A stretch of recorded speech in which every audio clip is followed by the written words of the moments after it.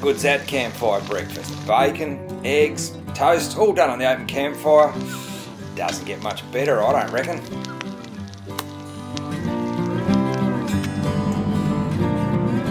Oh, it's right. It's a great spot here. It's just the other side of Talbotville, the actual Talbotville camp, campground's just a bit further down the road, only KSO down the road.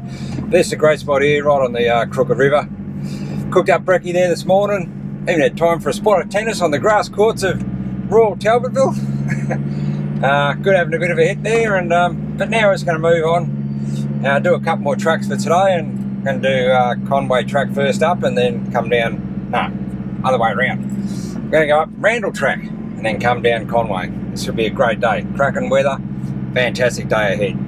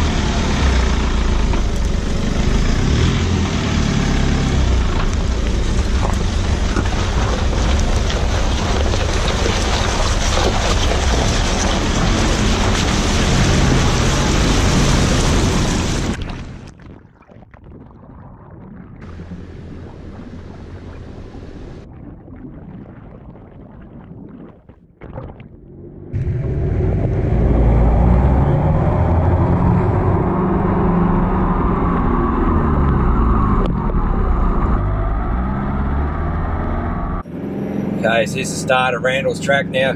This is again one of the probably one of the steeper tracks in this area here. Good fun track. Expected probably uh, not to be too bad a condition, but um, this is a good fun track and magnificent views from the top when we get up there. But I'll show you that when we arrive. When we go past, um, as I mentioned yesterday, the that bypass track that gets around those two last two river crossings. I'll show you where it comes out, just up here, just in case you've ever got to use it one day. But this is a good hill second gear low range, it's got rear locker in. Just cruising up here, just nicely, running nice low tyre pressures, plenty of traction. There's a lot of rock and stone in this sort of track, so generally get uh, plenty of traction in it when she's nice and dry like this.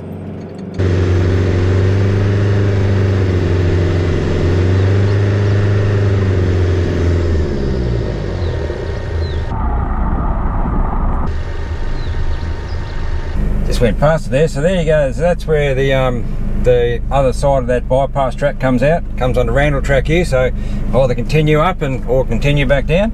But that's it the bypass track well worth knowing about just in case those last two crossings are just a little bit too deep to get through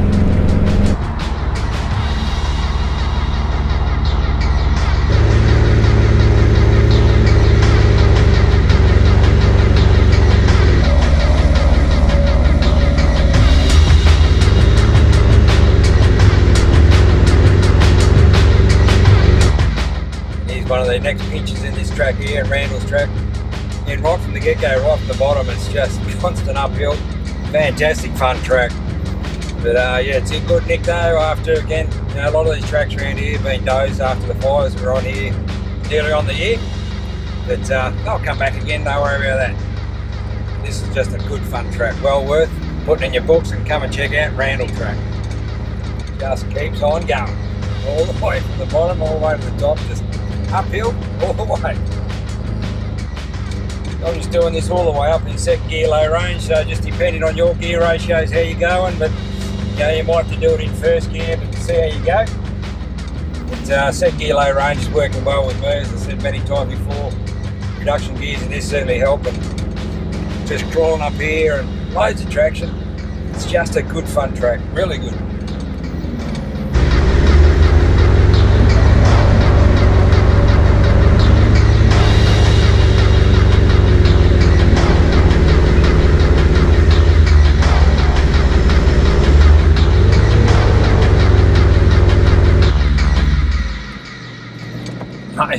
Out there. We're just approaching the top here now. One of the lookout points, the helipad's up here, and we'll pull up up here. Have a look at this. Nothing but blue sky out the window. It's Amazing view. That's a good fun track to start the day off. So we'll get up here, we'll pull up and uh, show you this fantastic view because it is something else. Have a look at that. oh yeah, that is great.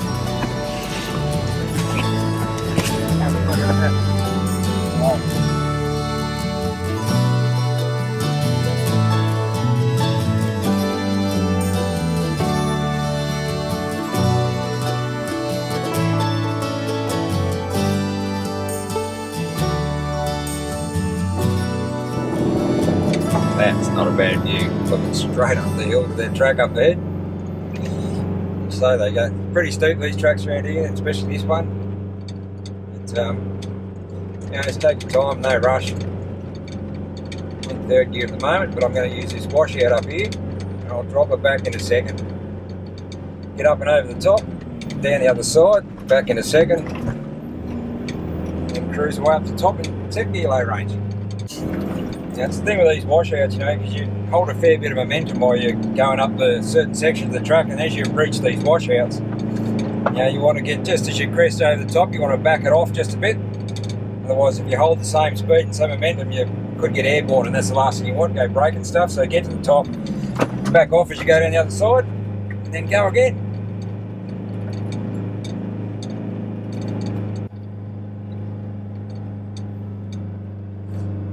Won't worry about stopping here, but that's just another lookout. Looks the same thing, but that one back there is probably the pick of them. Magnificent views, so we'll continue on. Right, I'm just reaching the junction here of um, top of Conway here. Um, so we're going to turn down Conway here and make our way down the bottom. And this is another one of the steep tracks again for this area.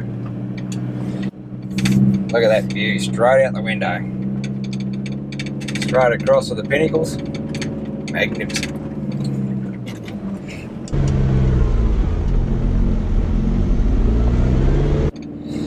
Now you see all these washouts here in the track, you know, these are here for a very good reason, you know, they're formed up by the dozers when the dozers come through and maintain the tracks. The reason why they're there for, particularly on these steep downhill tracks, is when it heavily rains, instead of the rain running all the way from top to bottom as it would do if the, these washouts weren't here, so these, these washouts, they deflect the water off, so the rain runs off, off the side of the track and into the bush, and that way doesn't erode the track away.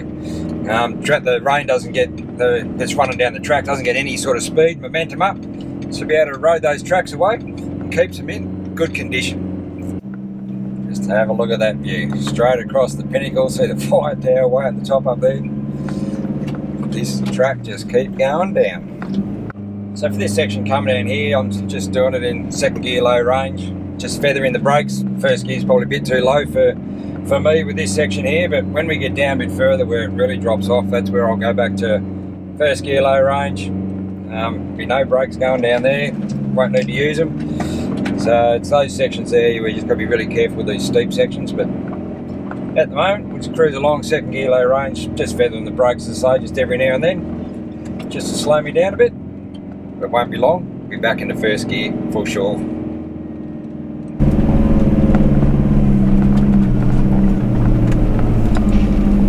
This is where I'll go back to first gear low range. Have a look at that straight down there. This is amazing track, great view. In first gear, just walk it all the way down. My case, using no brakes at all coming down here because the first gear in this is just pretty insanely low. Works an absolute treat, particularly in steep downhill tracks like this one. But just look at that view out there. Down to the farmland down there on the Wonnangatta River. How good is the mighty Victorian High Country? Just look at that. uh, just take your time as you come down here because the view is just amazing. Well worth checking it out, looking at it. Yeah, it's feathering that accelerator for me just to keep it going. Not touching those brakes at all. Oh, that is just amazing out there.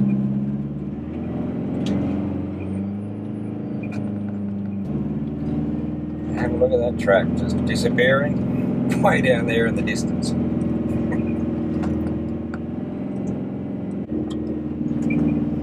How good's that view out there, mate? Pretty impressive, isn't it? Absolutely stunning. It's been handy having the little handheld. Backups for backups, mate. You just never know when the main radio is going to, um, yeah, not work anymore. And this one's filling the void very nicely. Clear, that's for sure. Haven't had any dropouts. It's even helped just singing voice a couple of times I've heard. Oh, turn it up, mate. I know I can't sing in certain places anyway. mate, you come down there with an automatic. How have you um, have you found it with um, your brakes being able to slow down coming down that hill? Yeah, I think the skill is just to put it in low range in the first gear and uh, and just try to stay off the accelerator and stay off the brake. And uh, if I need to, I just got to feather it a little bit on the way down. Yeah, that's the only key, isn't it? You know, just feather them as you come down and don't jam on those brakes and try and stay off them as much as you can so they don't get too hot. These uh, automatics, unfortunately, standard don't uh, don't slow down as well as a manual, especially yours with reduction gears. You're going too slow. It takes you a week and a half to get down there. But uh, for me, uh, I catch up a little bit quicker than uh, than normal, so uh, you just got to be a little bit more careful. But there are lock-up kits and you can go and get to um, sort that automatic out and they sort of hold a bit better as you're going down hills. Maybe go and have a chat with Rod over there at Wholesale Automatics, he'll sort you out, mate. Yeah, I some tennis lessons for uh, new kit. I'm not sure if Rod'd be up for tennis, but you just never know, he might be up for a deal like that. Do anything. I'll wash his car for him for a year. You're just coming now to the bottom of Conway Track down here now, we're down here on the Wonnangatta River now. Normally I'd drive across the Wonnangatta River with this crossing here, but probably not a good idea after coming down such a steep incline for such a long period of time, because everything's so hot, your diffs, brakes, not that I've been on my brakes at all, but in your case you might be on your brakes a lot coming down through there. So everything gets really hot, um, gearbox and all those sort of things. So the last thing you want to do is come down a really steep incline like this, particularly on a warm day as well, and plunge all your running gear and brakes and everything else straight into a cold river system because that way you can warp your brakes and it buggers all your seals up and your diffs and sucks water inside your diffs and then rusts them out and that sort of stuff. So when you're coming down a big steep hill like this for you know for a fair period of time, uh, it's always good to before you go crossing any sort of river system, just pull over on the side of the track and let everything cool down and just enjoy the serenity for where you are and while everything's cooling down. There's the Wonnangatta River there. So I'm going to go across the bridge. We'll pull up on the other side over there and make a bit of a plan for here. But um, yeah, you definitely don't go dropping into cold river systems after long downhill sections like that.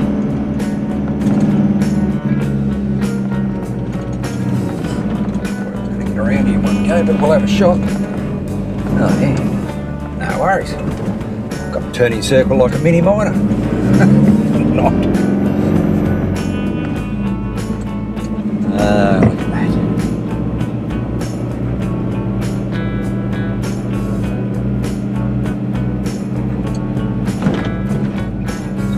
shade down here and make a bit of a plan.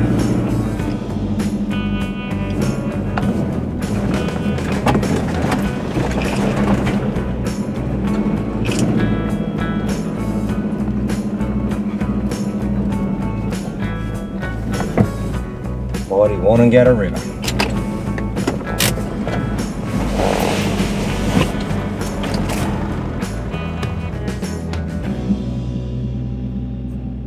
Well, it's been a, certainly a top morning, that's for sure. We've um, decided that we're going to uh, back out of here, head back into Dargo, and uh, air up, put some air back in the tyres from there, and then we're going to go back to where this trip started from, back to Italian Flat for the night, and uh, kick back on the Dargo River. That sounds like a great idea, I reckon. Might even stop in at the local at Dargo Hotel, might have one or two there before we head off, and then go and get some firewood final spot, the Dargo River there on Italian Flat.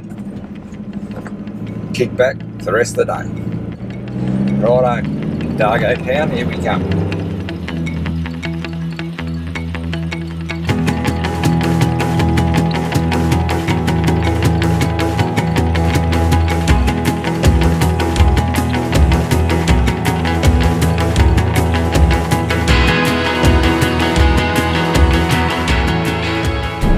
Got this short run now back into town of Dargo here, so we're going to pull over here and um, use the general store and get some air back in the tyres.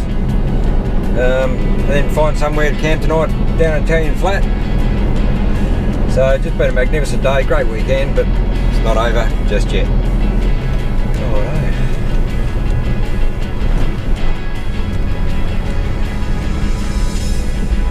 We go, general store.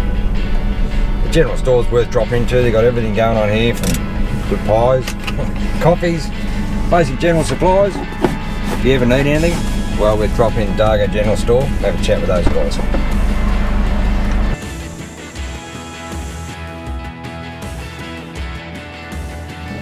Well, what a fantastic couple of days that's been, cruising around some tracks around the Dargo area. Um, done some new ones and some that I haven't done before. A couple of new ones there being Boundary Track and, and Riley's Creek Track. Haven't done those before. Fantastic tracks, great little loop. Um, and some van great vantage points and viewpoints from those couple of tracks. And then camping up last night down there near Talbotville on the Crooked River. Absolutely fantastic spot. And then finishing up today just with a couple of tracks, but a couple of good ones for this area. Been Randalls and Conway track. Make sure you check those out.